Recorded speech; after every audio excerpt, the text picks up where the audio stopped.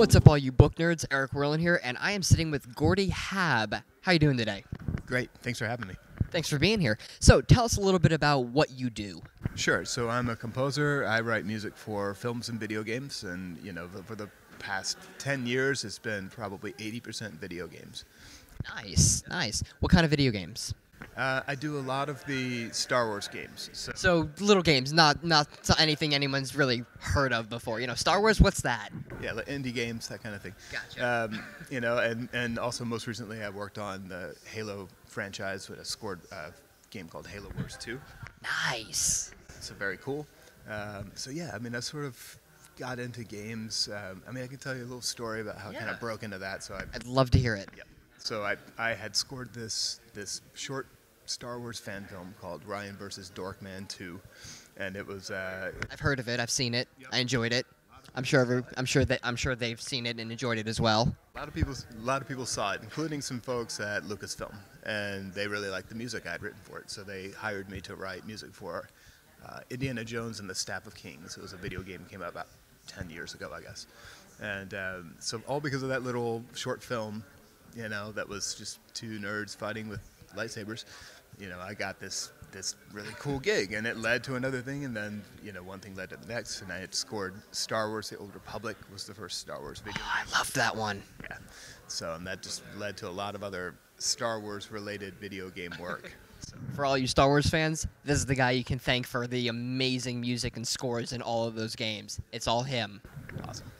yeah.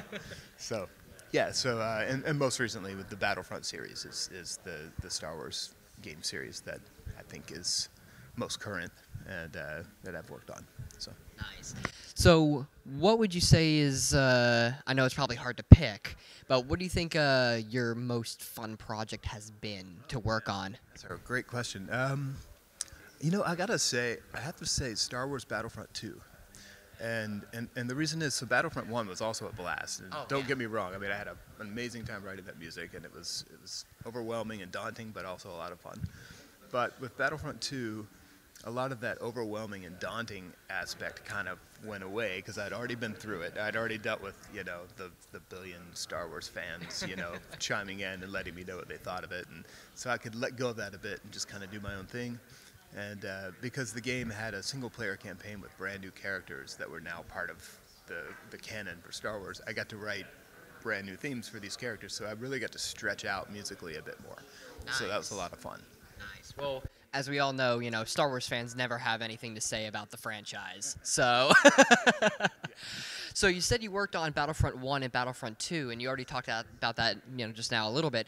But what were the different challenges in between co- going from Battlefront One because you had never done that before, and then Battlefront Two because you have to make it obviously still be a Star Wars and match Battlefront One, but still be its own entity. Exactly, yeah. How how is how did you go about that? What was the challenge? Yeah, I mean, the cha- there was a big challenge for one because we had to actually make sure the music fit with the original music from the films because it was actually set during the original trilogy period of time, and they were using music from the films as well. So I'd have to write music that could literally transition out of my music into John Williams' music, and then out of his and back into mine. So I was bridging a lot of gaps, and uh, so that was sort of the challenge there with Battlefront 2, the challenge was sort of abandoning a lot of that concept and then really doing something original and creative and new. So, uh, which was a lot of fun, but also, you know, it's, it's like you know when you give somebody a clean slate. Sometimes the most daunting thing in the world is a blank page, and, Yeah. and in a lot of ways it was. So,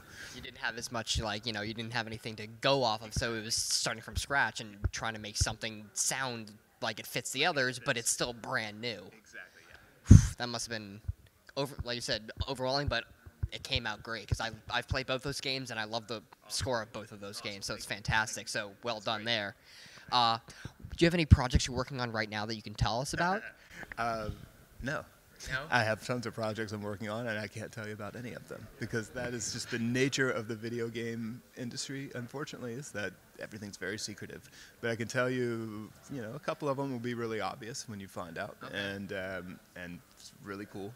And I actually have a couple great film projects coming up too that are based out of uh, a Chinese film company. So, which are really exciting projects too. blink twice if it's another star wars game He blinked. He blinked once, not twice, guys. So I don't know what that means. Blinked both eyes. Yeah, he, bl- he, he, uh, I don't know. We, we can leave that up to the viewers to decide on that. All right, thank you so much. It was a you. pleasure talking with you. It. Thanks so much. Yep. I'm Gordy Haab, composer. That's turning another page with Jean BookNerd.